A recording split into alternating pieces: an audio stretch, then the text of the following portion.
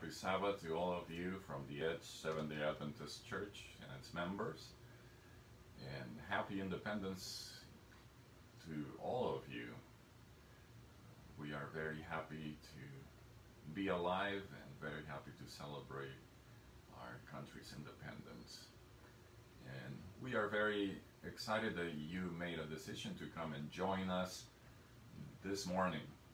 We know that you have many options, and yet you decided to come and join uh, the people of God as we open the Word together. We are thankful for what God has been doing with the church. Not just our churches, although we do bless God for what He is doing with our churches, but we are also thankful for what God is doing all around the world. I keep in touch with pastors in Mexico, friends of mine back from when we were in college, and uh, I see what they are doing. All of them meeting online still. I know that there is this uh, dissatisfaction that hits us once in a while about not being able to meet in person and we forget that we are not the only ones who are going through this uh, pandemic. It's a pandemic because it's a world event and it's not just an event here in the United States of America. There are people in other countries who are actually doing uh, much worse than we are here in this country and uh, who have actually even more restrictions than we have. and so we are thankful for God's protection eh, and guidance of His people, and we are thankful and looking forward to the day that we can meet together, even uh, with all of the guidelines that we will have to abide by. We don't have to abide by them. We are not being forced to do so. We want to do it because we care for the well-being and the health of our members and our visitors. Let's pray together before we begin the message this morning. Please bow your heads with me. Our Father in heaven, we are thankful for the Sabbath day in which we can come together and open your word and fellowship together. I thank you for the leaders of the church throughout the world and especially here in Minnesota. I thank you for the leaders within our churches, The Edge and Cambridge, I ask you, Lord, to continue to bless each and every one of them. We pray for our members who are out there who may be feeling neglected or sad or stressed out. Lord, please uh, put your arms of love around us. Calm our fears. Help us to be on your side. Help us to be on the winning side, the side of Jesus Christ. And Lord, we come together today to uh, ask you to lead us in our study, to give us one mind and one spirit, asking for your Holy Spirit to lead and to guide, to help us understand the message that you have given to your servant. And Father, we know that you will do it because we ask it in the name of Jesus Christ, our Savior. Amen. Today, all of us Americans are celebrating our independence. Today is 4th of July. But independence is more than just barbecues and parades and fireworks, even though sometimes that's all that we do. After all, we remember the struggle that early Americans faced as they stood up for freedom against Great Britain that in itself took courage for a new country and for people who perhaps didn't have uh, the greatest army or the greatest uh, development as the old country did. I don't aim to spend our whole time together today talking about history, but I do would I would like to uh, highlight a few things and and do like a small synopsis of, of the points that I find most interesting and why I find them interesting. You see, it was on April 19, 1775 that the American Revolution broke out uh, between the Americans and the British. And during that war period, the Declaration of Independence was made on July 4, 1776. However, it wasn't until 1783 that America finally def- defeated uh, the British or Britain and ratify its independence. And that in itself is very interesting to me because the Declaration of Independence comes first before even the end of the war. Before uh, people are able to celebrate and have parades and have barbecues and, you know, you know, have displays of fireworks. Even before that, there is this Declaration of Independence. It's almost like seeing beyond yourself. It's it's almost like seeing with your mind's eye or believing that what you are declaring will happen. In a sense, we could say that they had faith when they did it because it still hadn't happened, and yet they were already declaring themselves uh, independent. And that in itself, I think it's it's it's great, and we need to ratify and we need to highlight. And so today we celebrate independence, but uh, you know the Declaration of Independence came first in 1776, and the celebration of of having ultimately defeated the enemy came afterwards in 1783. As I thought about that order of things, you know, this Declaration of Independence coming first, this this visionary endeavor of saying we declare ourselves independent from you. Even before it happened, I couldn't help but think of our own spiritual declaration of independence from sin and the celebration that ensued after the war was won by Jesus Christ. In what's left of our time, which probably will will not be a lot of time, I would like us uh, to think about that and to and to look at that our own Declaration of Independence, how that came about, how was it played out, and what were the results afterwards. Our Declaration of Independence from sin came right away as soon as our first parents, Adam and Eve, fell into sin in the garden. So open your Bibles with me and go to Genesis chapter 3 and verse 15. Genesis chapter 3 and verse 15. And this is God admonishing, and, and He is actually delivering punishment and judgment upon the transgressors of His law and upon the deceiver himself. And He says the, the following in, in Genesis chapter 3, verse 15 And I will put enmity between you and the woman, between your seed and her seed he's uh, talking to to the serpent, but at the same time he's talking to Adam and Eve, and they are listening to this promise. I'm going to put enmity, I'm going to put strife between you and the woman, and between your seed and her seed, between your followers and her seed. Uh, he shall bruise you on the head, and you shall bruise him on the heel.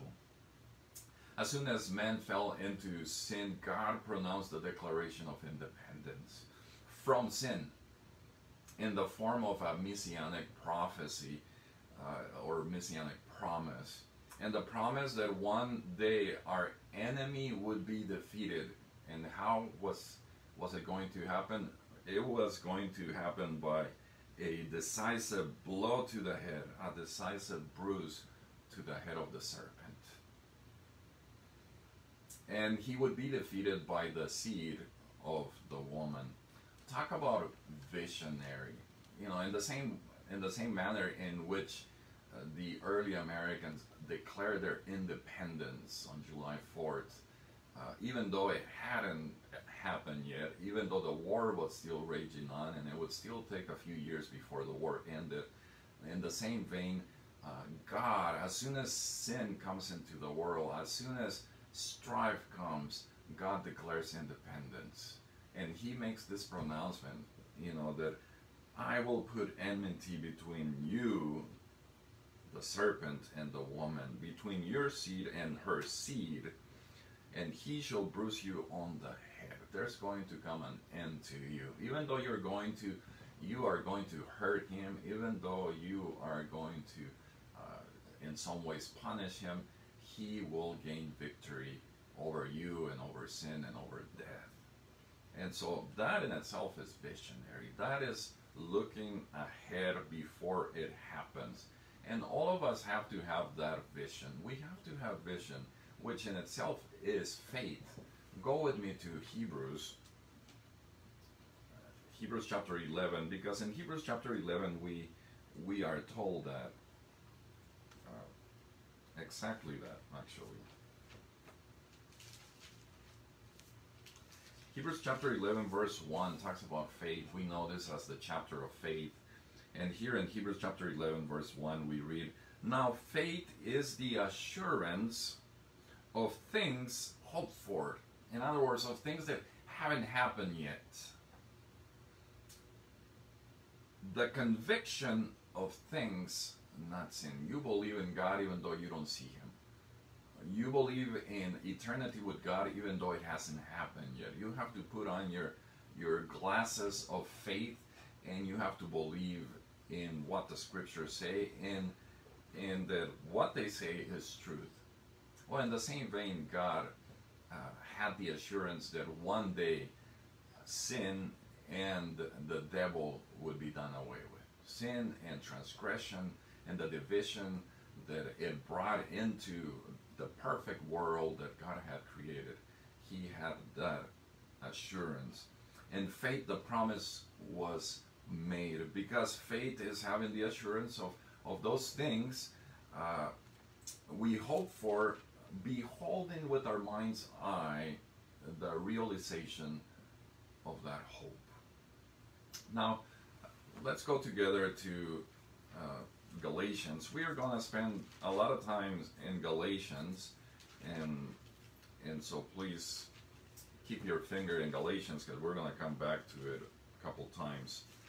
We're in Galatians chapter 3 and verse 16 because before we read it, when Adam and Eve hear the declaration of independence from sin, uh, they believe it. And we know they believe it because as soon as Eve has her first child, you know, she is excited. She she is hoping that this is the redeemer of them. I mean, she says, "Look, a male, a child. Perhaps this is the redeemer." I mean, that's not in the text, but that is definitely implicit in the original uh, language of the text. Look, could this be the one who is going to redeem us? Of course, we know the story, and that was not the Redeemer. He became the first murderer.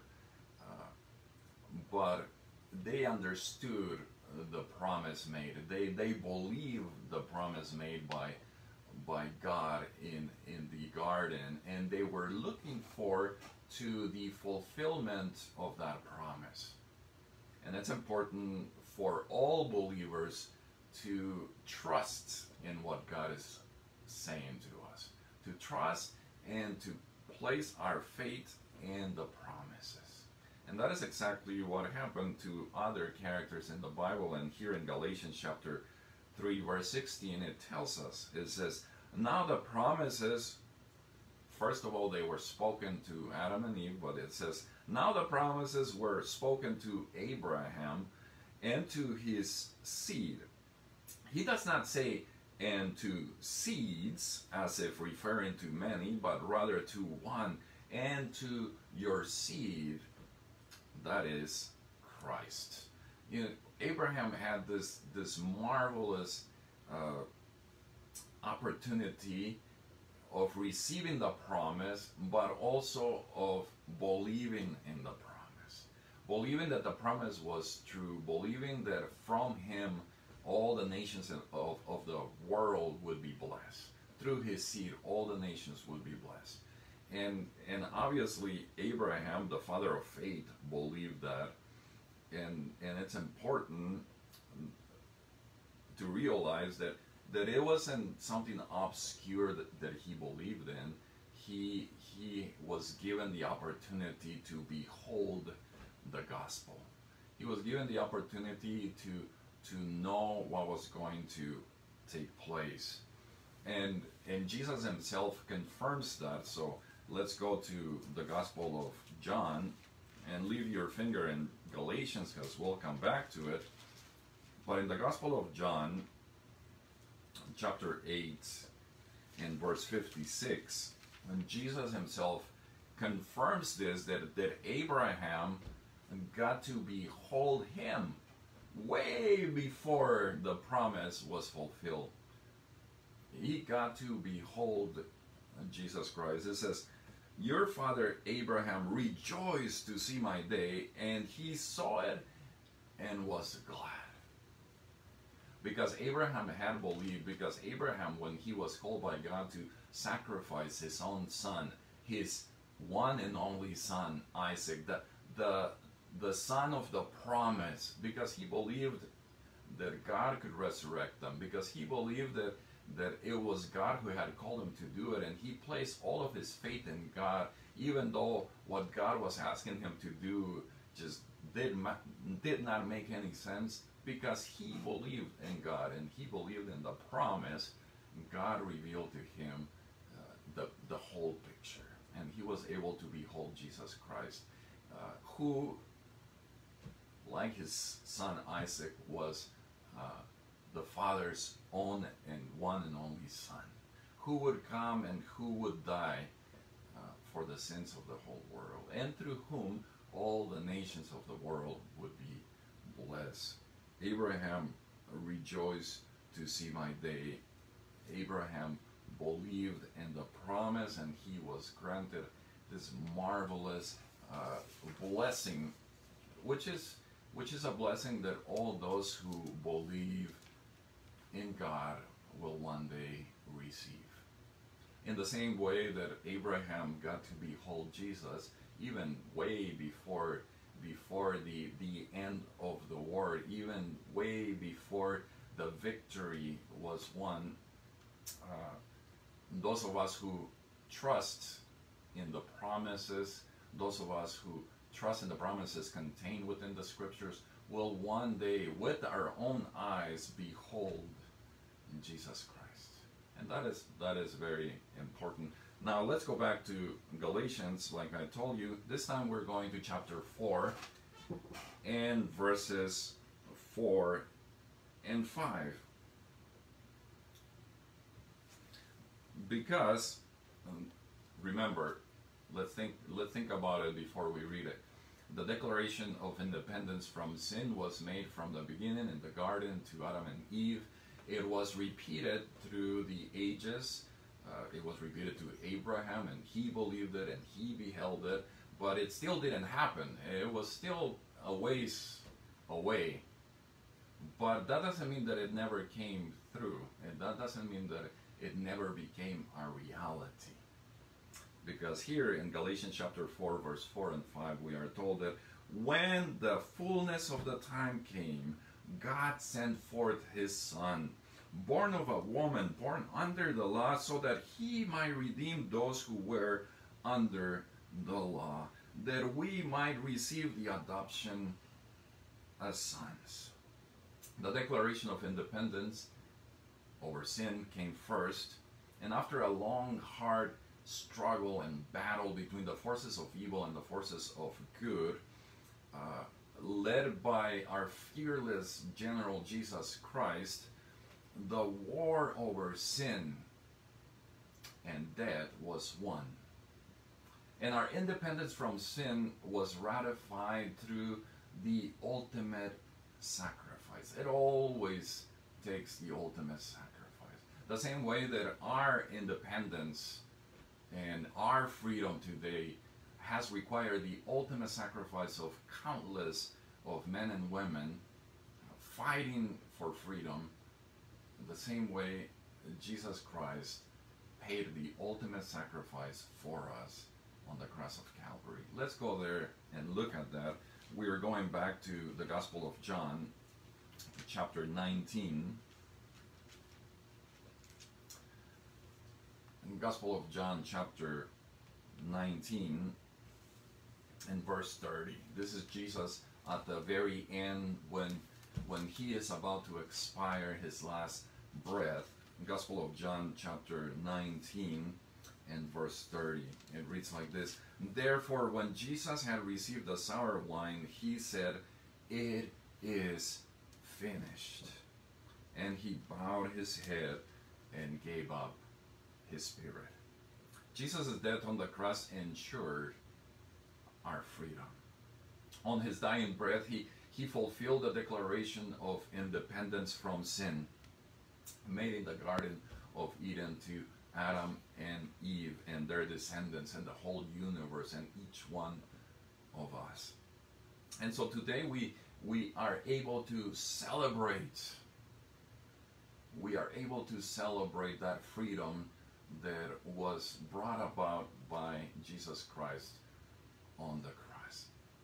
First came the Declaration of Independence in the same way that in our country first came the you know first the war started and then came the the Declaration of Independence, and then came the end of the war with victory over the enemy. In the same way, uh, spiritually, it happened the same.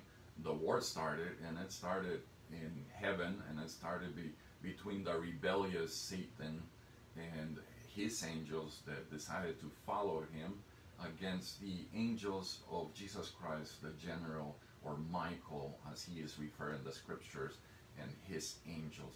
And then after that, uh, when he led our first parents into sin, came the declaration of independence from sin. And the fulfillment of that declaration of independence came when Jesus died on the cross of Calvary, when he paid the ultimate sacrifice for you and for me. And because of that, because of that sacrifice, we can celebrate. We can begin the celebration now, except for we still have to wait for the fulfillment of everything made new. But the war has been won. Yes, we can remember, we can go back, we can we can celebrate, we should celebrate that we are free men and women in Jesus Christ. Actually, uh, heaven itself celebrated that fact. And if, if we go to uh, Revelation in chapter 5, we can see how uh, heaven itself celebrated. Revelation chapter 5, verse 9. We're going to begin with verse 9. We're going to probably read quite a few verses, but this is Jesus coming back home. This is homecoming of Jesus back to heaven after he defeated the enemy on the cross of Calvary by paying the ultimate sacrifice. And this is homecoming. All of the angels, all of heaven's beings, uh, all of the redeemed and God and the cherubims and the elders, they're all together and they're awaiting this coming of, of their victorious hero. And let's pick it up in verse 9, even though we could begin in verse 1, but I'll let you do that at home by yourself. And they sang a new song, saying, Worthy are you to take the book and to break its seals, for you were slain and purchased for God with your blood men from every tribe and tongue and people and nations. By paying the ultimate sacrifice, Jesus won our independence from sin. He won our freedom. Verse 10 You have made them to be a kingdom and priests to our God, and they will reign upon the earth. Then I looked, and I heard the voice of many angels around the throne, and the living creatures and the elders, and the number of them was myriads of myriads, and thousands of thousands, saying with a saying with a loud voice, Worthy is the Lamb that was slain to receive power and riches and wisdom and might and honor and glory and blessing. And every created thing which is in heaven and on the earth and under the earth and on the sea and all things in them I heard saying, To him who sits on the throne and to the Lamb be blessing and honor and glory and dominion forever and ever. And the four living creatures kept saying, Amen. And the elders fell down and worshipped. They were worshiping, they were celebrating because the war over sin and death was won by Jesus Christ. They were excited. And we should be excited when we think about our independence from sin. Because thanks to Jesus Christ, we no longer are slaves. Thanks to Jesus Christ, we are now free men and women. And we can and should celebrate. Let's go back to Galatians, though. Galatians chapter 5. Because we are told precisely that here in Galatians chapter 5 in verse 1. Galatians chapter 5 and verse 1, it tells us exactly that same message. And it reads, It was for freedom that Christ set us free. Therefore, keep standing firm and do not be subject again to a yoke of slavery. It was for freedom that Christ has set us free. Christ died to give us freedom. And so today, uh, yes, today we are celebrating the, the, the independence of the United States of America, and we get excited and, you know, we see or throw fireworks and, and we celebrate and there's parades and, and it's important for us as Americans to be proud of our country and to and to be thankful for the sacrifice made for us so that today we can enjoy freedom but without forgetting that our ultimate freedom came from Jesus Christ. Our ultimate freedom came from Jesus Christ as he died on Calvary for you and for me because it was for for freedom that Christ set us free. No longer are we bound for, by the old yoke of, of slavery, but we are able to celebrate our freedom from sin.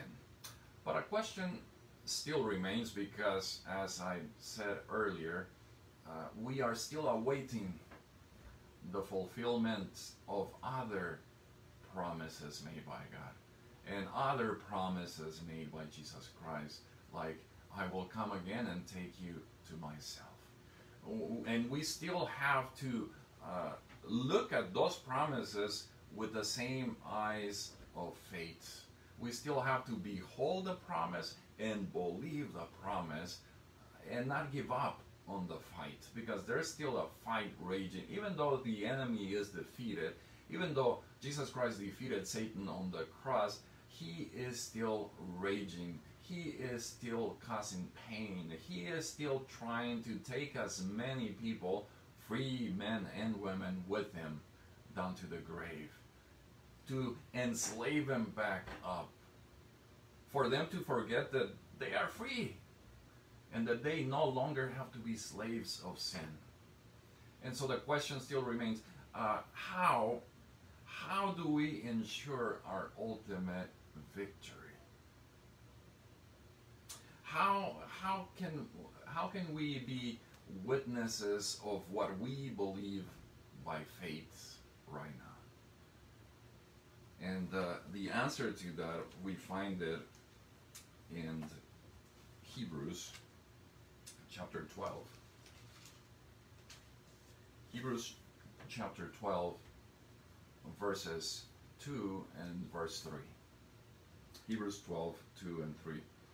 And it reads like this The, the way that we can overcome is by fixing our eyes on Jesus, the author and finisher or perfecter of our faith who for the joy set before him endured the cross, despising the shame, and he sat down at the right hand of the throne of God.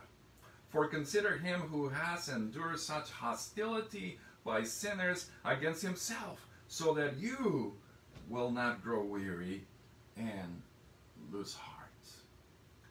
Yes, we experience uh, oppression, we experience uh, trials, we experience hostility by sinners. Uh, we can even uh, experience persecution. And yet, if we fix our eyes on Jesus, who is the one that begins the work of faith within our hearts, then we can ultimately overcome the world. So today, as we go on our day, and especially tonight, because today is the Sabbath, I hope that you're not out there uh, breaking the Sabbath. Uh, wait till tonight to celebrate until the, the sun goes, has gone done. But today, as we think about freedom, let's not forget to think about the freedom that, that Jesus Christ brought and won for all of us. That is something worth celebrating. That is something worth remembering. Let us pray. Our Father, we thank you so much for the freedom in Jesus Christ. And we also thank you so much for the freedom that we have as Americans, won by the fight of many men and women who were willing to pay the ultimate price to realize their dream of independence. Help us not to forget either one of them, but help us as we have to go through this life uh, and uh, still being attacked on all sides, and as the fight gets even stronger in the last days, may we never forget to uh, behold Jesus Christ. And to know that by beholding him, we are being transformed into his likeness, and to know that he is uh, the one who begins the work in us, and he is also the one who completes the work in us.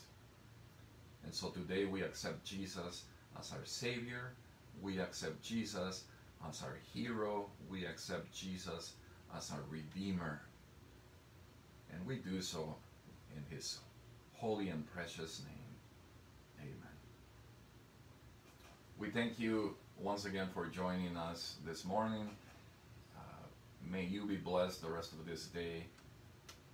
May the Lord keep you and watch over you and your families.